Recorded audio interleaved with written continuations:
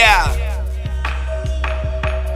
Saha. What's my name? Yeah. I'm not a rap nigga, I'm more like a counselor for the school of hard knocks, and I know the founder.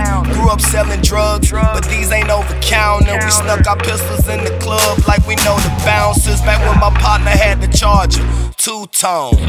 When I was still trapping off the boost phone, I kept a cutie in my book bag. I sold ounce by the lockers, that's what I call a school zone. I was known for that sticky paraphernalia. Dropped out, but I was never really a failure.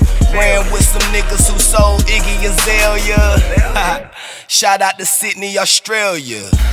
But now I get paid just to spit rhymes.